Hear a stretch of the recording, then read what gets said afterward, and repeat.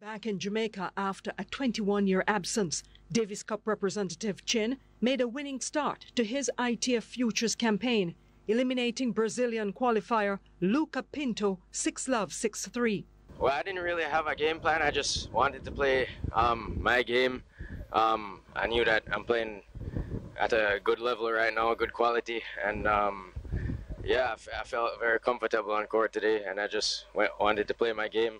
Yeah, I'm pretty fit. Um, like I play tennis in in university right now, Division One. So like it's a constant schedule. So it, season just finished, so it, it, has me prepared for these tournaments, and um, yeah, I feel phys- physically fit, and you know, mentally, I'm I'm very confident right now. Pinto was gracious in defeat. He was better than me today. He deserved the win. Uh, I was a bit nervous. Uh, main draw match, uh, important for the first point, but I couldn't really play good. He played better than me, so it was was this. Up next for Chin will be Sweden's Leo Borg.